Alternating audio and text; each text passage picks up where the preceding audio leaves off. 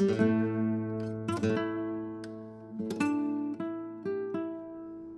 I started in boxing. Uh, I had a coach, uh, Danny McNeil, who just kind of tinkered around with the basics of boxing and stuff like that, just to kind of get me started and stuff like that. He had a real old school Mexican style, man. You know, stand toe to toe and see who can take the most before one takes a knee.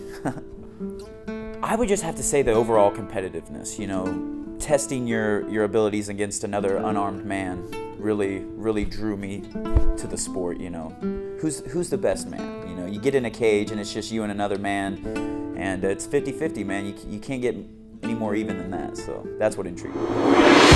Big elbows. Big elbows.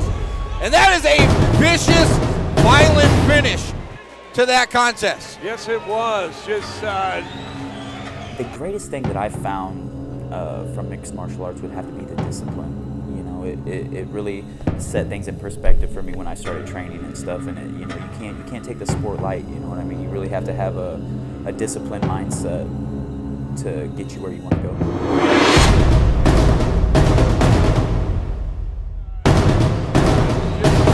aggressive from the beginning. One of my goals, well, I, I guess I have a few different goals in this sport. You know, one is to, up, you know, obtain championship. You know, to wear that gold around the waist. You know, everybody wants that, but you know, also to get the respect of other fighters. You know, that that means a little bit more to me than the belt even. You know, to, to get that that nod. You know, when you walk by another talented fighter and stuff like that, man. You know, that really would give me a sense of fulfillment. You know, to get that respect from other fighters.